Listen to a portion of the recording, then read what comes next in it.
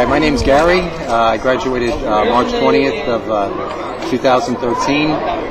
Um, Faith Farm really helped me identify with uh, what's really important in life. You know, what, where my priorities should be and where they shouldn't be. And help me uh, center me and give me a God of my understanding that I've never had before.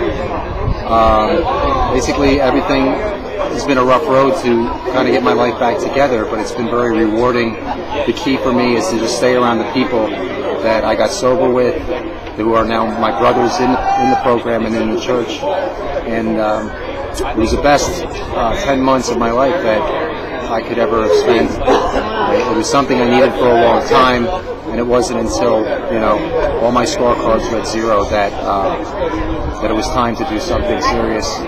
And uh, the people here actually uh, gave me faith not only in myself, but in pretty much mankind in general.